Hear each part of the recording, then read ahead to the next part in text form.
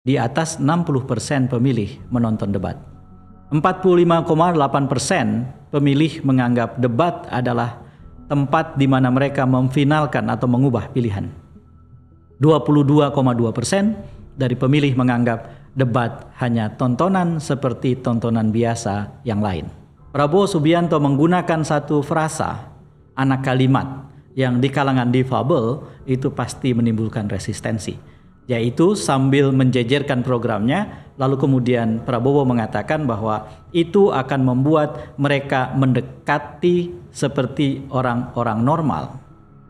Di kalangan mereka yang tuna dengan berbagai jenis tuna mereka tidak ingin dianggap sebagai orang-orang tidak berkemampuan atau disable. Istilah yang tepat adalah difabel different ability. Bukan tidak punya ability saya berharap sekeras apa pun kompetisi, sekeras apa pun kita bertarung dalam pemilu, pada akhirnya kita kemudian menjadi bangsa yang kembali bersatu.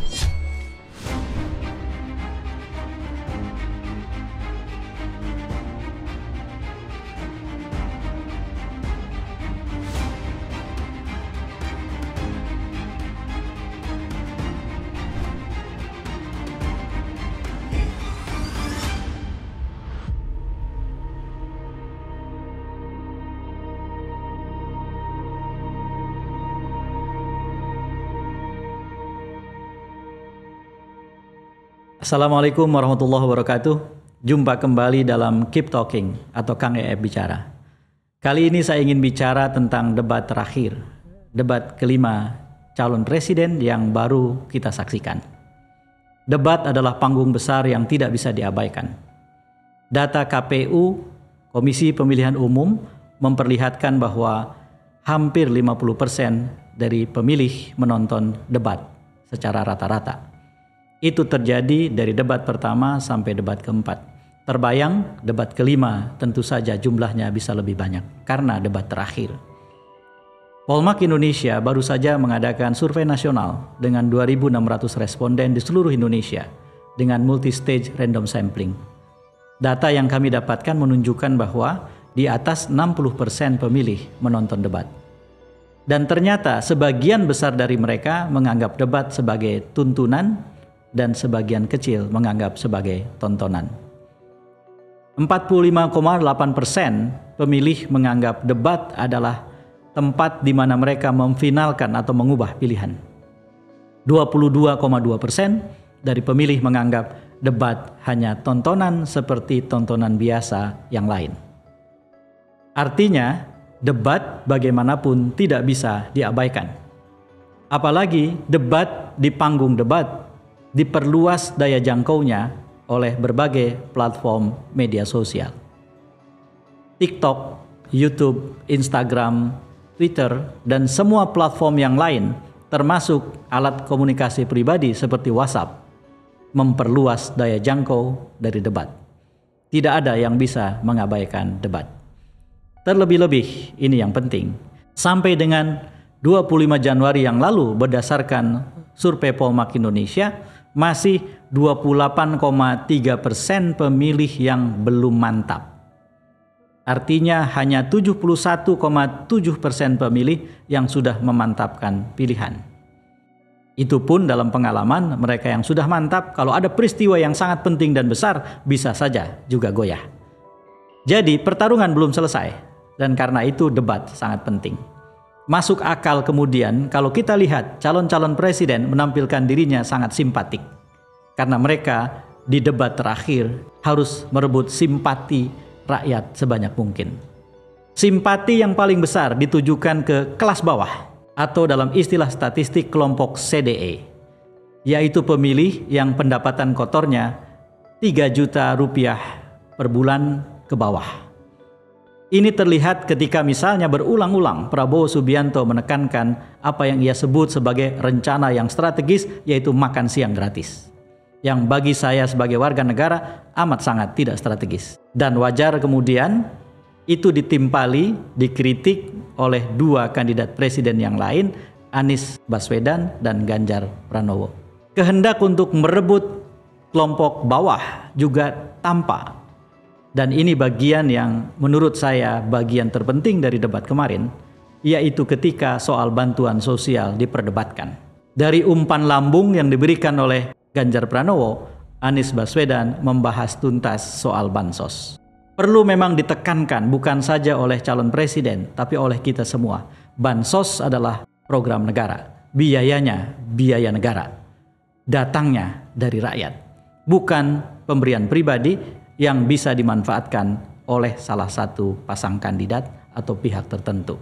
Penekanan soal bansos menekankan pentingnya kelas bawah karena survei Polmark Indonesia memang menegaskan sebuah data yang memprihatinkan sekaligus sebetulnya menjadi pekerjaan rumah. 40-an persen pemilih menerima bansos. Dan bayangkan jika penerimaan itu disertai personalisasi. Ini bagian yang menyedihkan dari pemilu 2024. Saudara, para calon presiden juga menyasar segmen-segmen tertentu. Saya catat misalnya Anies Baswedan dengan menegaskan dirinya sebagai pendidik memberi penekanan kepada guru dan para pendidik sebagai pihak yang harus sangat diprioritaskan. Tentu saja diamini oleh dua kandidat yang lain. Ganjar Pranowo misalnya menekankan pentingnya beberapa aspek tertentu seperti internet gratis terutama untuk meningkatkan literasi internet untuk membuat akses terhadap informasi dan kemajuan itu bisa dicapai oleh seluruh lapisan. Ada satu hal yang saya lihat juga ditekankan benar, yaitu pemilih perempuan. Saudara, pemilih perempuan ini adalah pemilih penting karena sebagai unit kerja politik perempuan jauh lebih aktif dari laki-laki. Itulah yang kami temukan dalam riset-riset selama ini selama hampir 15 tahun Polmark Indonesia berkiprah atau berdiri. Wajar jika perempuan menjadi target. Tentu saja perempuan akan bisa melihat kandidat mana yang sebetulnya punya sensitivitas gender. Sensitivitas gender adalah sensitivitas tentang ketidakadilan yang dialami perempuan. Dan tentu saja sebagai pemimpin para calon presiden harus benar-benar menunjukkan komitmennya pada isu yang sangat penting itu. Ada satu catatan lain yang saya miliki berkaitan dengan kalangan difabel. Sebagai warga negara, saya kecewa karena ketiga kandidat tidak menampilkan istilah difabel, alih-alih istilah disable yang memang dipakai oleh undang-undang. Penggunaan istilah disable oleh undang-undang tidak bisa jadi alasan bagi kita untuk tidak menggunakan istilah difabel sebagai istilah yang lebih layak. Undang-undangnya harus diubah. Prabowo Subianto menggunakan satu frasa, anak kalimat, yang di kalangan difabel itu pasti menimbulkan resistensi. Yaitu sambil menjejerkan programnya, lalu kemudian Prabowo mengatakan bahwa itu akan membuat mereka mendekati seperti orang-orang normal Difabel bukan orang tidak normal. Bahkan kenormalan mereka sering kali tidak kita miliki. Orang yang tidak bisa melihat itu sangat peka pendengarannya. Dan kita tidak mungkin punya kepekaan yang sama. Di kalangan mereka yang tuna dengan berbagai jenis tuna, mereka tidak ingin dianggap sebagai orang-orang tidak berkemampuan atau disable. Mereka tahu persis bahwa kemampuan mereka hanya berbeda dari orang yang lain. Karena itu istilah yang tepat adalah difabel. Different ability. Bukan tidak punya ability. Bahkan mereka punya ability kemampuan yang jauh dibandingkan dengan orang lain. Misalnya pendengaran yang sangat tajam ketika mereka tunanetra. Ini menjadi pembelajaran penting buat kita bahwa pemilu itu bukan soal kandidat. Pemilu itu bukan soal calon presiden, calon wakil presiden, calon anggota DPD atau calon anggota DPR dan DPRD. Pemilu itu pertama dan terutama adalah soal rakyat. Memenangkan pemilu adalah memenangkan rakyat, memenangkan Indonesia. Kita boleh menganggap bahwa debat kemarin anti klimaks, tetapi saya berharap kita semua mencatat semua yang dijanjikan oleh kandidat. Dan segera nanti kita menentukan pilihan pada 14 Februari kita menjadi barisan penagih janji. Tidak boleh ada pemimpin yang kita biarkan melanggar janjinya, yang manis-manis itu. sekalipun ia adalah presiden yang kita pilih. Pemilih presiden tidak boleh jadi supporter. Pemilih presiden harus tetap jadi voter. Supporter adalah membela apa pun termasuk ketika salah. Voter tidak. Setelah memilih dia jadi penagih janji. Debat adalah arena tempat kita mencatat. Tentu saja pengalaman-pengalaman kandidat penting untuk kita gunakan sebagai alat panduan. Karena itulah kita lihat di debat Anies Baswedan dan Ganjar Pranowo memperlihatkan pengalaman mereka di masing-masing daerah. Mari kita pelajari, perdalam, lalu kemudian kita jadikan itu sebagai salah satu pertimbangan untuk memilih mereka. Saudara, pada akhirnya kita menyaksikan debat yang simpatik. Prabowo Subianto menutup debat dengan meminta maaf. Ganjar Pranowo dengan berterima kasih. Anies Baswedan berulang-ulang menyebut kompetitornya dengan sebutan yang terhormat.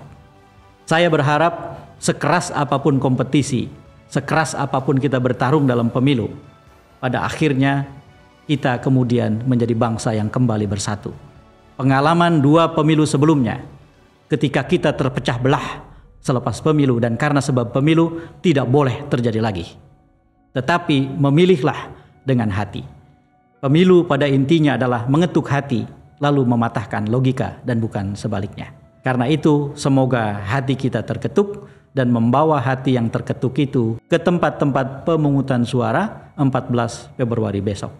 Dan yang menang adalah Indonesia. Mari kita jadikan pemilu 2024 untuk memenangkan Indonesia.